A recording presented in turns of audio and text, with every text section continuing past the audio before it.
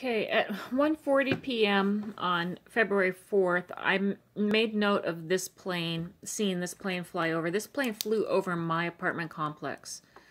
Um, and I note that I've seen it before, mostly around 2017, and I saw it in dreams before that. So I actually first had this dream before I moved into this apartment. I don't know at what point in the other house, where it was just this dream where I saw all these amazing planes in the sky. In one case, it was actually a plane carrying the space shuttle on its back. Um, and there were a whole bunch of other crazy, just flying really low all over the place, just amazing, amazing things in the sky that, you know, I was very excited about seeing. Then I had this dream again around 2017. And then I walked to this was May 2017. I walked to the reservoir. I was walking around the reservoir, and that's when I first saw a drone in the sky that was really obvious a drone. And it was sort of, you know, giving itself away as being a drone. And I, so I first saw this thing and I thought it was a star. Your mind, you know, your train, your mind is trained to see these and think they're stars. But I kind of did a double take because, like the ones that I've shown that I've seen lately and, and photographed and shown on YouTube. It was low in the sky. It was early in the evening. It was extremely bright. I'd never seen a star there before, and there were no other stars in the sky anywhere around.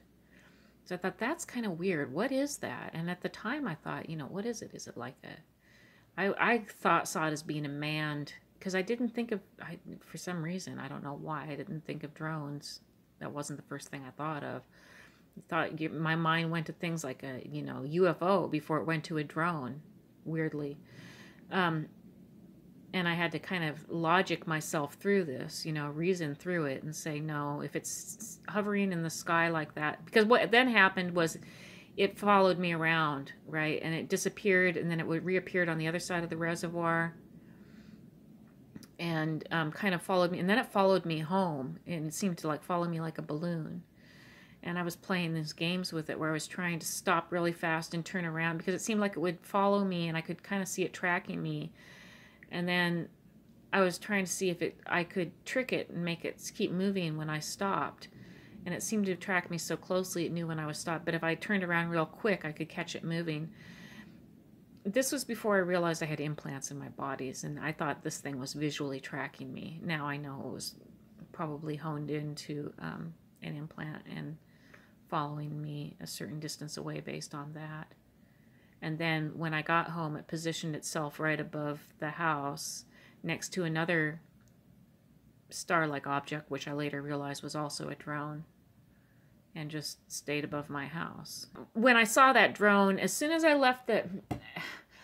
Uh, it followed me around the reservoir, and when I left the reservoir as soon as I stepped out onto the street. All these planes started to fly over. So the whole time I was walking around the reservoir, although at this time I had frequently seen a lot of planes or drones flying over, I just saw them as being planes at the time.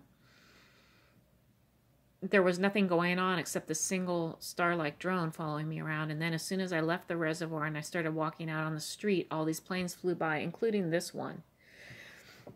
So the back the plane itself kind of looks like a capsule shape, and then in the back, the tail is split in two. I don't know why it's like that. And then, you know, it's got a tail. And it looks like a box and, you know, a frame in back of the plane. And I felt like later, because I saw the word Fendi in a dream, either uh, probably before this, I felt like maybe it was a link.